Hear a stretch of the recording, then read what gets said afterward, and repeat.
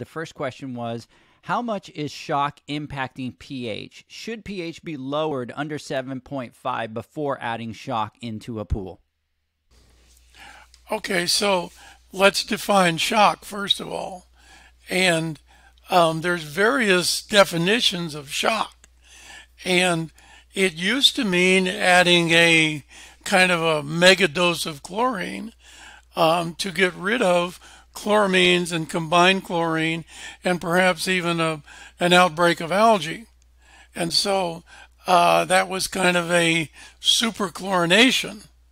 Then, with the advent of non chlorine shock, which is for the most part monopersulfate, um, the MPS people said you can shock with their non chlorine shock.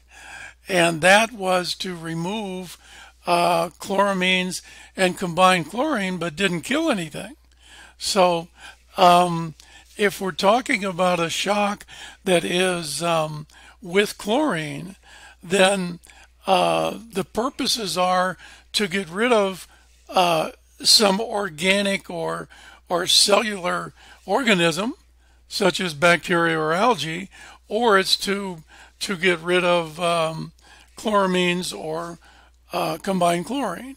And if that's the case, then um, a shock is a shock. And um, if you put in enough chlorine, you will overcome the or get to the ratio of chlorine to ammonia or chlorine to chloramine that will destroy the chloramine. And so you can calculate that. And if you if you do a free and total chlorine test, and if they're not the same, then the difference is combined chlorine. And if you multiply that times 10, that is the dose of chlorine you need to overcome the, the combined chlorine to get to the proper ratio. And so that's the way we calculate it.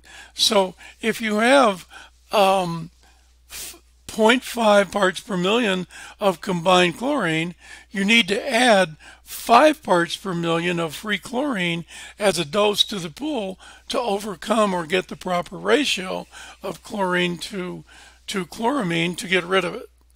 So that's how you do it. And with the amount of cyanuric acid that you will have in most pools, which will be at least more than 30 parts per million, um, the pH of the pool doesn't necessarily matter anymore. And the reason is it it mattered before when we thought that pH determined the percentage of HOCl and OCl that's in the pool.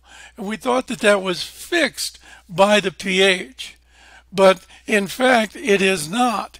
It's most of the chlorine, in fact, 97% of the chlorine that's in the water is being bound to cyanuric acid.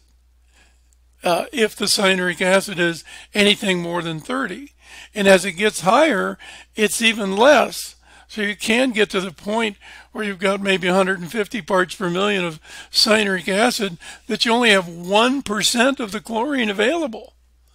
And then the pH of the water matters to an extent because the other two things that matter is the, the cyanuric acid level and the chlorine concentration determines how the percentage that's available.